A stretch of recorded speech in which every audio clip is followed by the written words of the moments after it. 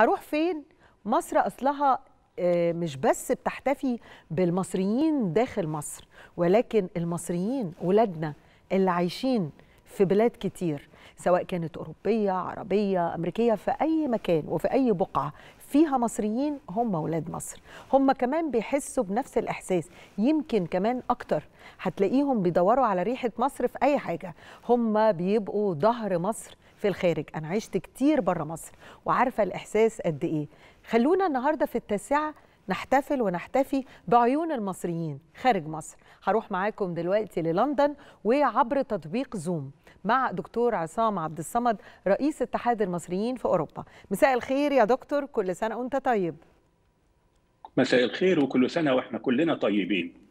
يعني أنا عارفة وعشت كتير بره مصر عشت تحديدا في بريطانيا كتير فأنا عارفة الإحساس قد إيه بتبقوا حاسين بمصر وحاسين بكل شيء. يعني كلمنا عن آه، تل- 30 يونيو والاحتفال أو 30 يونيو نفسها بعيون المصريين خارج مصر. أولا أنا عايز أمسي على الجميع وأقول كل سنة وأنتم طيبين. إحنا المصريين اللي في الخارج أنا عايز بس أصلح معلومة صغيرة. النهاردة ما فيش حاجة اسمها مصري في الخارج ومصري في الداخل. طبعا. إحنا كلنا مصريين صحيح. أنا مصري في الخارج لأن أنا أعمل وأعيش في الخارج سيادتك مصرية في الداخل إنك تعملي وتعيشي في الداخل ممكن بكرة أو بعده إن إحنا نبدل الأدوار سيادتك تبقي في لندن وأنا أبقى في القاهرة فإحنا كلنا مصريين اللي أنتوا بتعملوه في في في, في مصر إحنا بنحاول نعمله بقدر الإمكان هنا هو. يعني خلينا نبدأ مثلا من لما بدأنا الثورة. وسيادة الرئيس لما لما طلع وبقى رئيس الدولة بيسافر بدأ يسافر كتير. طبعا. فإحنا كنا معاه في كل حتة. بيروح باريس موجودين معاه بنروح روم بيروح روما موجودين معاه نيويورك موجودين معاه. ولدرجة إن أنا قلتها مرة في يعني في قناة من القنوات ال- الأجنبية أعتقد التلفزيون الياباني.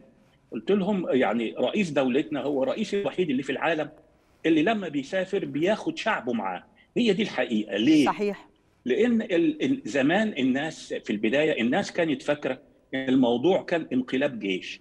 فإحنا كنا بنقول لهم الموضوع مش كده خالص دي ثورة شعب. وكنا بنقولها إزاي؟ لأن إحنا عايشين بره يعني عندنا لغة آه، عندنا باسبورات آه، عندنا جنسيات عندنا عندنا بنقدر نتحرك وبنقدر نتكلم.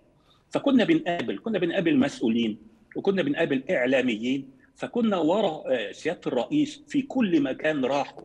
يعني مثلا أنا لا أنسى لما راح آه، مثلا آه، زيارة من الزيارات بتاعه ال United Nations هو دخل يتكلم وعارف وعارف إن إحنا واقفين له بره.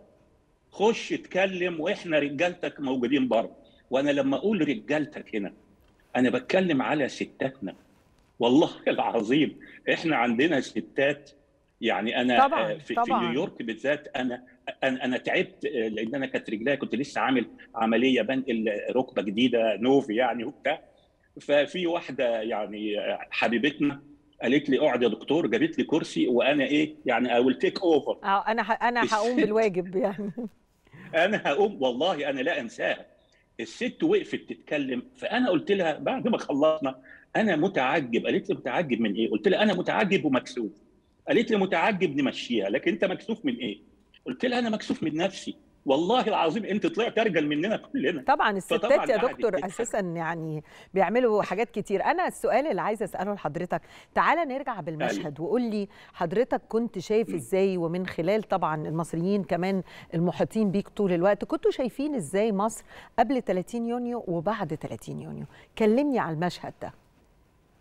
إحنا ما- إحنا كلنا إحنا كلنا عشناه وكلنا شفناه وشفنا الضنك اللي إحنا فيه. الضنك اللي إحنا كنا موجودين فيه. يا إما ضنك عام يا إما ضنك خاص.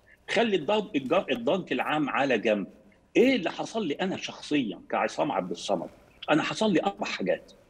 أنا خبطتني عربية وأنا رايح شغلي في Harley Street هنا في لندن. أيوه. ويعني وقعت على الأرض اتكسر العصعوص بتاعي خد مني سنتين. امم تاني تاني حاجة اتضربت ضربة غيرت ال- ال- الركبة بتاعتي الركبه اليمين بتاعتي اتغيرت كنت مرة مع الرئيس في في في برلين في أول زيارة له في برلين وكانت زيارة خطيرة جدا. فإحنا كنا قاعدين في Adlon Hotel اللي هو الهوتيل اللي بيقعد فيه الرئيس والكلام أيوة. ده فكان في رسالة كنت عايز اوصل يعني كانوا عايزين يوصلوها من هوتيل لهوتيل. فأنا خدت الرسالة دي ورايح ففي واحد منهم قابلني الشارع وخبطني خبطة جامدة في اسناني كسر لي اسناني. ولذلك سناني اللي اللي دول دول مش مش دول مش سناني. آه يعني أنت ديت يعني أنت يعني يعني قدمت كل يعني يعني ما- كنتش بتحس بتضحي بكل حاجة في مقابل بس إن كل شيء يبقى تمام وتوصل كل حاجة. هو ده هي دي روح المصريين طول الوقت.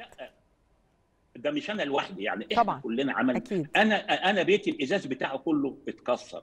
وغيري وغيري وغيري. إحنا دلوقتي طبعا الموضوع مختلف آه، مختلف خالص يعني يعني لو. سألت أي بني آدم يعني ما ما بيفهمش الواحد من كوز الذرة هيقول لك الكلام دوت يعني. أكيد. أنا يعني دكتور عصام عبد الصمد رئيس اتحاد المصريين في أوروبا بشكرك شكرا جزيلا ودايما زي ما قلت المصريين هم المصريين مش مهم نبقى موجودين فين وإزاي المهم إن إحنا في قلبنا وفي عقلنا بلدنا مصر.